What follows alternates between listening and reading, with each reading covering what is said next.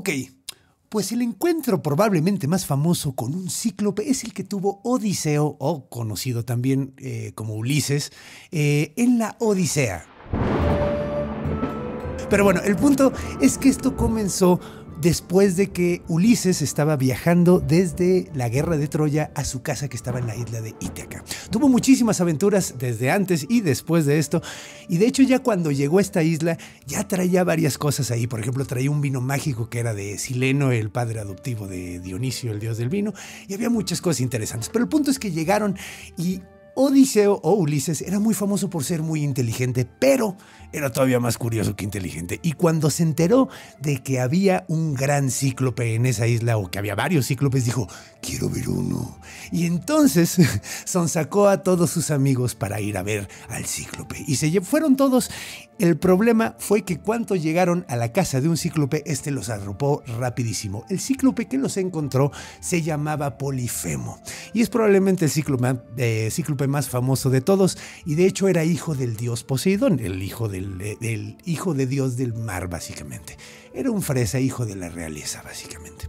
Ahora, la cosa es que cuando atrapó a Odiseo o Ulises con todos sus amigos, pues básicamente comenzó a comérselos. O sea, uno tras otro empezó a comérselos y Ulises empezó a hacer un plan para pues, salirse de ahí sin que se lo comieran.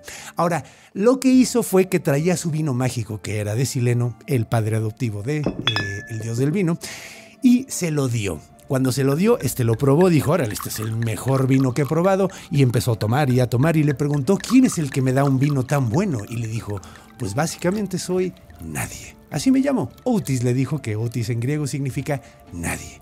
Le dijo, órale, pues qué buen maridaje tiene tu vino mágico con tu compañero, mi buen amigo nadie. Y le dijo, sí, cómo no, sigue tomando, sigue comiendo, hasta que el cíclope se quedó tan, tan, tan borracho que se noqueó. Así le dio un, coma etílico y se quedó completamente dormido. Y ahí fue cuando aprovechó Ulises y agarró un palo, un palo muy grande que empezó a quemar en, eh, en la fogata y cuando estaba bien, bien caliente, se lo enterró en el ojo a, a, Polifemo mientras estaba dormido. Y obviamente Polifemo empezó a gritar de, ¡ah, mi ojo, mi ojo! Entonces los cíclopes que vivían alrededor se acercaron a preguntarle, ¿qué está pasando, viejo? ¿Qué te pasó? Y dijo, nadie me picó el ojo, nadie me dejó ciego, nadie me picó el ojo y me lastimó. Y todos dijeron, pues qué bueno, ¿no? O sea, imagínate, si alguien lo hubiera hecho hubiera sido muy gacho porque nada más tienes un ojo. Ahora, el problema es que efectivamente se quedó ciego y todo mundo se fue y lo abandonaron ahí pensando, órale, Polifemo se volvió loco. Y eh, ahora Ulises se quedó atrapado adentro de la, de la, casa con este gigante ciego. Ahora, ¿qué fue lo que pasó? Tenía que sacar el gigante a pastar a sus cabras, porque tenía cabras ahí en, la casa y en la, en la, cueva en la que vivía. Entonces tenía que sacarlas a pastar, pero lo que, lo que hacía era para que no se le fueran a escapar, agarraba a cada una de las cabras cuando, iban a, cuando las sacó a pastar y empezó a tocarlas a todas, a manosearlas así para ver si no había algún griego por ahí. Ahora, lo que hicieron ellos fue amarrarse abajo de las ovejas. Se amarraron abajo de las ovejas y el ciego Polifemo solo tocaba la parte de arriba, así que se fueron escapando amarrados abajo de las ovejas.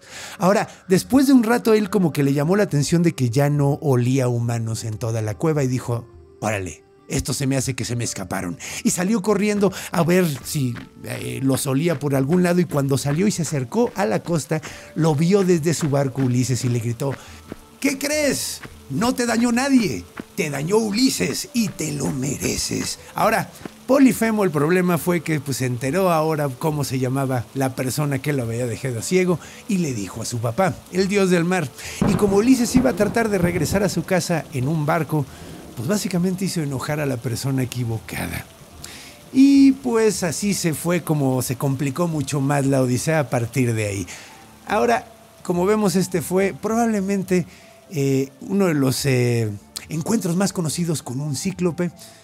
Y si quieres saber mucho más de dónde vienen y más detalles sobre esta historia y cosas así, échate el episodio completo de Cíclopes que está en mi canal.